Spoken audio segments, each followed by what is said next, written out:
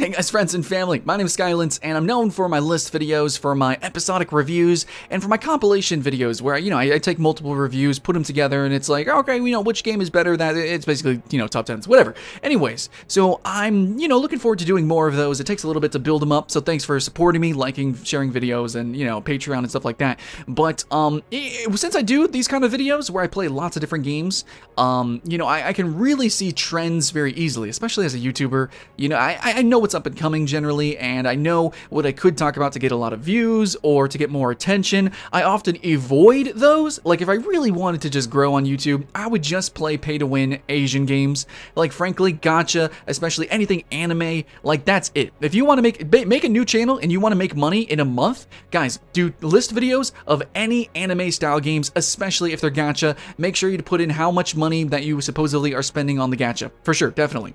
Anyways, so yeah, no, I, I know the trends. I can see them. That is what makes me special. Okay, now let's talk about some of those trends. One of them that I really want to talk about, and it's something that I'm I'm affected by immediately. Uh, it's kind of been happening uh, this past year or so. I've been noticing this, but especially right now, um, since I am playing actually World of Warcraft. I'm playing the new expansion. I just reached max level. I chose my Covenant, so I'm playing a Blood Elf. Uh, Blood Death Knight, I'm going to be tanking, and I chose the Blood Daddies, okay? I, am I'm, I'm going to be Venthyr, and, um, you know, it's cool, it's cool. You know, the story was, was interesting, um, the leveling was a little bit easy, blah, blah, blah. Quick review, though, basically, and the point of the, the moral of this video is that it was more single player, and it really didn't feel like an MMO, and it really was more much so an action RPG, is, is how I would define it. And actually, even before this, this is something that people have kind of felt was the trend with retail WoW. Not even, it, it wasn't even a feeling. Like, that's just known. Like, we knew that. That's why they even had to release Classic WoW. The difference between Classic WoW and Retail WoW basically is the difference between an MMO and an action RPG. There are certain open world aspects, kind of, but more and more, World of Warcraft is like kind of restricting the number of players in any one zone. They are kind of balancing the game to be really more focused around dungeons and specifically the raid encounters and stuff that really isn't unique to massively multiplayer games and really isn't massive at all, actually. So, anyways, but we're getting more cinematic gameplay. We're getting um, maybe better told stories, at least, you know, in terms of like that cinematic. Uh, and I think the writing overall is strung together a lot better. Maybe we're getting more unique, fun quests, though I, I say maybe because in World of Warcraft's case, generally no, it's still kind of boring a little bit, but you know, we'll, we'll talk about that. But basically, um, this is something I'm feeling right now is that, okay, the trend for WoW is that it kind of feels more like an ARPG. And in fact, right before the expansion, I was running like some heroic raids, and you know, I, it actually legit felt like Path of Exile or Diablo or like a bunch of other action RPGs that I've played. There was that power fantasy. Um, sometimes, you know, basically it was like you either one shot something or it one shots you and um, there was like some fun kind of RPG game with that. But for the most part, um, you know, you're killing swaths of enemies, and then you have this giant boss that you fight, and a lot of the times you do just kind of wreck shop.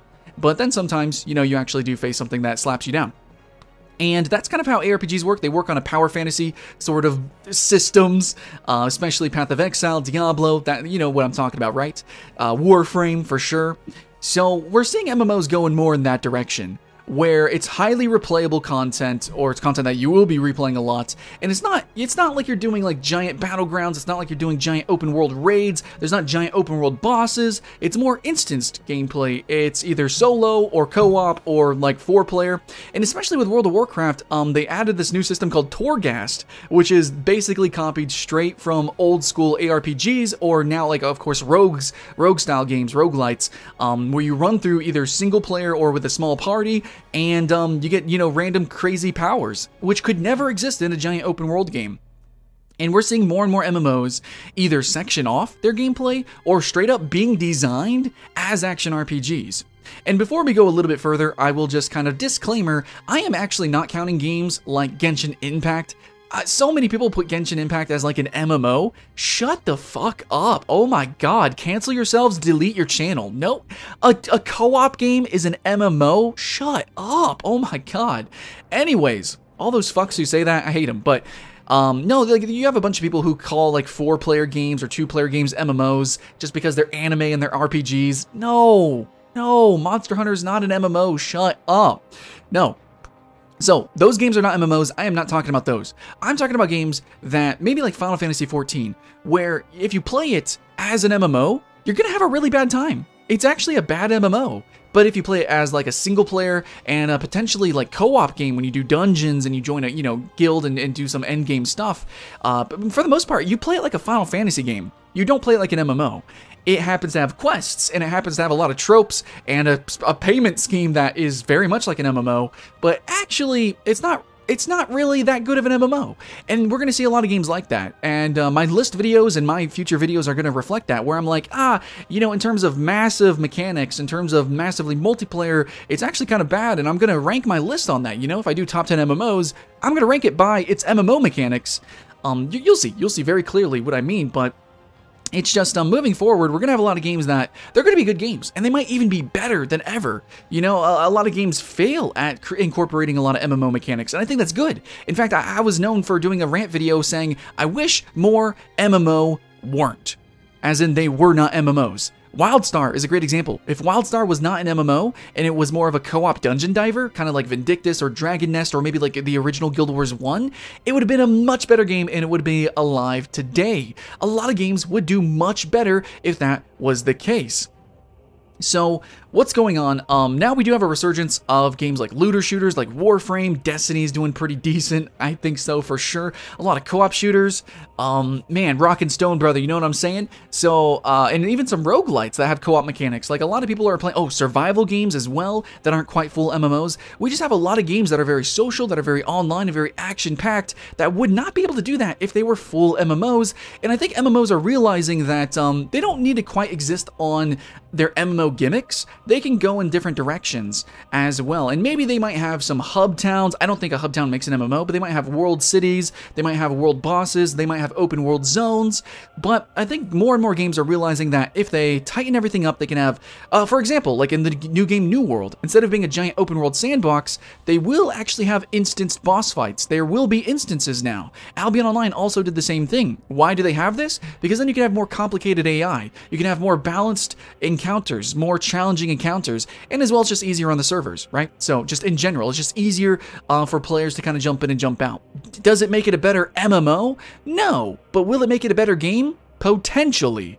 Then again, of course, we can despair about how MMOs are being perverted and basically being turned into action RPGs, and that's the point of this video, but at the same time, I don't think it's all doom and gloom, uh, because Torghast is really fucking cool. I love the endgame Mythic Plus and rating of World of Warcraft, absolutely, but frankly, I look back, and I think we all do this too, of those fun co-op quests in RuneScape, or those those times you you know the, the wild Eve Online or Albion Online ganks and things like that, or the epic world bosses in Guild Wars 2, you know those dynamic events. Sometimes, um, you know the, the old stories of somebody you know passing you by and helping you out on your journey. You know you're doing a quest, fighting Hogger or something. Somebody comes up, Hallie comes and heals you up, Holy Lights, and uh, it's it, those kind of encounters are unique to MMOs. They're special, and that's why we play the genre but it it's not why we play each specific game. Like, let's be honest.